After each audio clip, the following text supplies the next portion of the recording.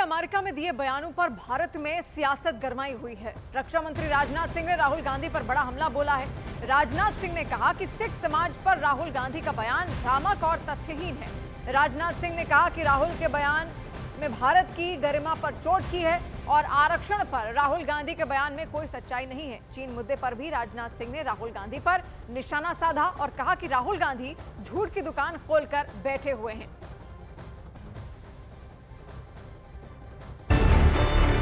News 18 India चौपाल एक ऐसा मंच जहाँ जब जब बात निकलेगी तो सिर्फ़ दूर तक नहीं, बल्कि दुनिया के कोने कोने में जाएगी।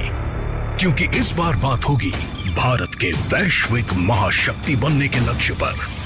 सरकार, समाज सेलिब्रिटी और स्पोर्ट्स स्टार्स के साथ न्यूज़ 18 इंडिया चौपाल देखिए सिर्फ़ न्यूज़ 18 इंडिया पर।